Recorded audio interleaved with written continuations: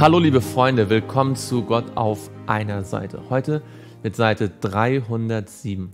Lasst uns gemeinsam beten. Lieber Vater im Himmel, wir möchten dir von ganzem Herzen Dank sagen, dass selbst wenn wir in ungünstigen Situationen und Umständen sind, wenn wir, ohne dass es unser eigenes Verschulden ist, mit Menschen zu tun haben, die einen schlechten Einfluss auf uns ausüben können, dass wir wissen dürfen, dass du uns bewahrst. Dass wenn wir mit deinem Heiligen Geist kooperieren, wenn wir auf dein Wort hören, dass du in der Lage bist, auch in einer immer dunkler werdenden Welt uns zu hell leuchtenden Lichtern zu machen. Dass du uns reiner hältst, wenn wir unser Herz dir geben, denn du allein kannst es reinhalten. Und darum bitten wir dich. Und darum, dass du jetzt durch dein Wort zu uns sprichst, dass du uns persönlich in unserem Herzen ansprichst, dass wir merken, dass du persönlich ein Interesse an jedem Einzelnen von uns hast. Das bitten wir im Namen Jesu. Amen. Wir sind in 1 Samuel Kapitel 2. Ein Mann Gottes ist zu Eli gekommen, um ihn dafür zu tadeln, dass in Silo der Heiligtumsdienst so schändlich in Misskredit gebracht worden ist wegen der schrecklichen Sünden der Söhne Elis. Wir lesen in Vers 30, darum spricht der Herr, der Gott Israels, ich habe allerdings gesagt, dein Haus und das Haus deines Vaters sollen ewiglich vor mir aus und eingehen, aber nun spricht der Herr, das sei ferne von mir, sondern wer mich ehrt, den will ich wieder ehren. Wer mich aber verachtet, der soll auch verachtet werden. Gottes Verheißungen sind immer an die, Verbi an, an die Bedingung geknüpft, dass wir sie auch für uns persönlich in Anspruch nehmen. Sind immer daran geknüpft, dass wir auch tatsächlich Gott die Ehre geben. Niemand kann die Verheißungen Gottes in Anspruch nehmen für sich und gleichzeitig glauben, er kann ähm, die Gebote Gottes ignorieren und einfach vor sich hin sündigen. Das wird niemals funktionieren. Es hat selbst nicht für den Priester Israels funktioniert. Egal welche Position wir im Werk Gottes haben, egal welche Erfahrung wir vielleicht schon haben in äh, göttlichen Dingen, wenn wir nicht wirklich von Herzen Gott an die erste Stelle setzen, dann können wir seine Verheißung auch nicht für uns persönlich in Anspruch nehmen. Siehe, die Zeit wird kommen, da ich deinen Arm und den Arm des Hauses deines Vaters abhauen werde, sodass in deinem Haus niemand alt werden soll. Und du wirst Not in deiner Wohnstätte sehen, bei all dem Guten, was Gott Israel erweisen wird, und es wird nie mehr ein Betagter in deinem Haus sein. Der Mann aber, den ich dir nicht von meinem Altar vertilge, wird dazu beitragen, dass deine Augen verlöschen und deine Seele verschmachtet. Und der ganze Nachwuchs deines Hauses soll im Mannesalter sterben. Das waren sehr schwere Worte für Eli. Und es soll dir ein Zeichen sein, dass über deine beiden Söhne Hoffni und Pinjas kommen wird. An einem Tag werden sie beide sterben. Ich aber will mir einen treuen Priester erwecken, der tun wird, was nach meinem Herzen und nach meiner Seele ist. Und ihm werde ich ein beständiges Haus bauen und er wird alle Tage vor meinem Gesalbten aus und eingehen. Auch hier haben wir bereits die Vorhersage auf den Gesalbten, auf den kommenden König. Und hier sehen wir, dass Gott Menschen beruft, die nach seinem Herzen sind. Er beruft hier Menschen, er sagt, dass er Menschen beruft, die das dann tun, was er sich wünscht. Gott beruft niemals uns dazu, dass wir dann einfach unseren eigenen Willen durchsetzen. Er beruft Menschen dazu, dass endlich Gottes Wille auch auf dieser Erde sichtbar wird, damit deutlich wird, wie gut und wie wohlgefällig eigentlich Gottes Wille ist. Und es soll geschehen, dass jeder, der von deinem Haus übrig ist, kommen und sich vor ihm niederwerfen wird, um einen Groschen und ein Stück Brot zu erbitten und sagen wird, lass mich doch an einem, an einem Priesterdienst teilhaben, damit ich einen Bissen Brot zu essen habe. Und der Knabe Samuel diente dem Herrn vor Eli. Zu jener Zeit war das Wort des Herrn selten, es brach sich keine Offenbarung Bahn. Wir sehen es in der biblischen Geschichte nicht immer zu allen Zeiten gleichmäßig viele Propheten im Dienst waren. Es gab Zeiten, in denen Gott gar nicht durch Propheten sprach. Später zum Beispiel, nach der Zeit von Malachi bis Johannes dem Täufer zum Beispiel. Und auch hier war eine Zeit, in der wenig bis kaum Offenbarungen Gottes ähm, ja, bekannt waren. Interessanterweise haben wir gerade erst eine gelesen, nämlich die des Propheten, des Mannes Gottes, der hier das Wort an Eli gerichtet hat. Aber allgemein war das eine sehr seltene Erscheinung. Und es geschah eines Tages, dass Eli an seinem Schlafplatz lag. Seine Augen hatten angefangen schwach zu werden, sodass er nicht mehr sehen konnte. Aber die Lampe Gottes war noch nicht erloschen. Und Samuel schlief im Tempel des Herrn, wo die Lade Gottes war. Was für eine interessante Beschreibung hier.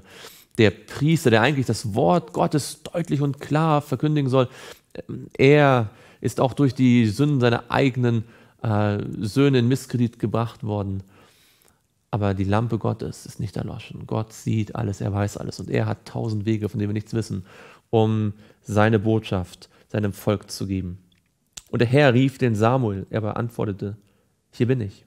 Und er lief zu Eli und sprach, hier bin ich, denn du hast mich gerufen. Er aber sprach, ich habe nicht gerufen, leg dich wieder schlafen. Und er ging hin und legte sich schlafen. Manchmal kann es sein, dass Gott sehr viel direkter zu uns spricht, als wir es das für möglich halten. Da rief der Herr wiederum Samuel und Samuel stand auf und ging zu Eli und sprach, hier bin ich, denn du hast mich gerufen. Er aber sprach, ich habe nicht gerufen, mein Sohn, leg dich wieder schlafen.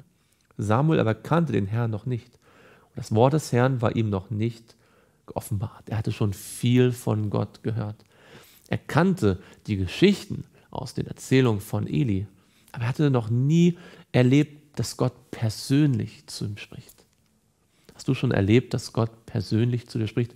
Vielleicht nicht hörbar, aber dass du gemerkt hast, dass das Wort Gottes direkt dein Leben angesprochen hat, Probleme angesprochen hat, die dich betreffen, wo du gemerkt hast, dass Gott ganz genau dich meint. Ich habe das in meinem Leben schon öfters erlebt und ich, und ich kann von Herzen sagen, dass es immer dann, wenn ich Gottes Stimme in meinem Leben angenommen habe, er mir viel Glück und viel Freude und, und tiefen Frieden geschenkt hat.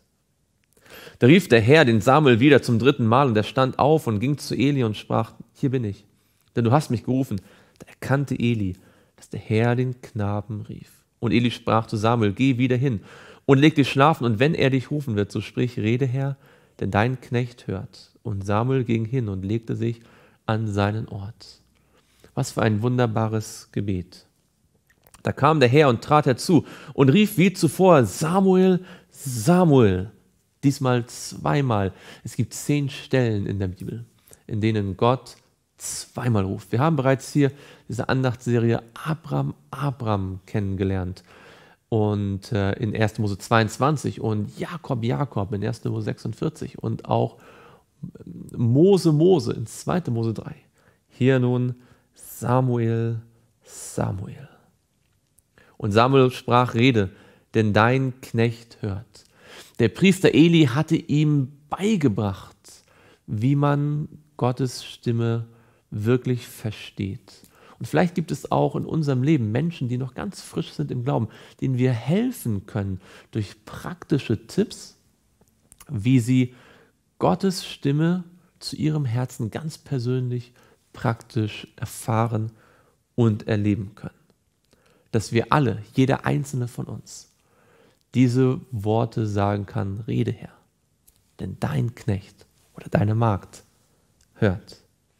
Und Herr sprach zu Samuel, siehe, ich will eine Sache in Israel tun, dass jedem, der es hören wird, beide Ohren gellen werden. An jenem Tag will ich an Eli alles in Erfüllung gehen lassen, was ich gegen sein Haus geredet habe, ich will es anfangen und vollenden.